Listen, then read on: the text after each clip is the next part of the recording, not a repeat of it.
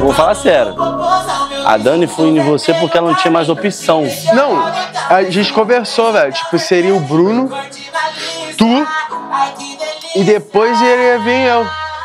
Tá ligado? Aí chega essa menina aí agora, você esquece, tipo assim, Lara e ela, vai pra dentro dela. E ela. Vai vir. Mano, vai vir. Você ia quebrar elas no meio, moleque. Vou te falar? Mano, porque eu faria isso, mano. Eu faria isso. O, que eu quero explicar é que eu curto ficar com a Dani, mas se eu tivesse outras opções, eu não iria escolher a Dani. Eu não gostei de ficar com a Dani. Não gostou, mano? Ah. Ah, mas tava, Mulherão, tava mulherão. aqui, tá aproveitando, Ah, é eu isso. tô mano. vivendo. É, isso aí é, não é isso, É pô. isso, Agora eu chegou vivendo. outra, moleque. Faz isso por mim, que eu não posso.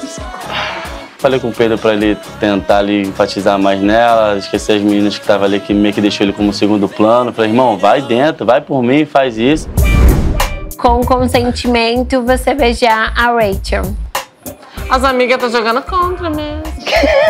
Essas coisas me atingem, eu não gosto. Tipo, falei, nossa, tá jogando contra minhas próprias amigas? Vê se manda aí no Vini, manda. Elas não têm coragem. Mas é isso, gente. Joga. Pode jogar no colo da Dani. Ok. Pode tomar. a gente tem umas privacidades, né? Então vamos. Vamos agora. Se ninguém ver.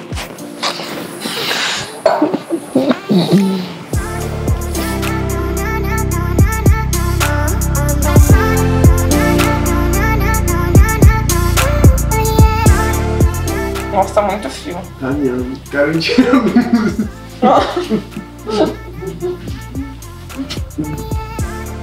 Pô, tá legal, tô curtindo, tá gostoso, tá leve. Não fica no meu pé o dia inteiro, porque eu também não gosto de.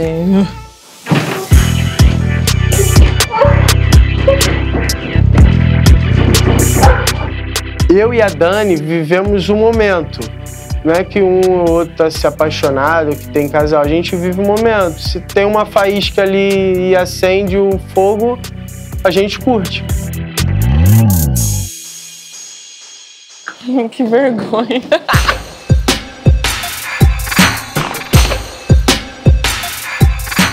Tudo bom, Dani Vasque? O Dani Vasque! O Dani Vasque! Nossa, você voltou meio avermelhada no rosto. Você parece que fez um exercício físico.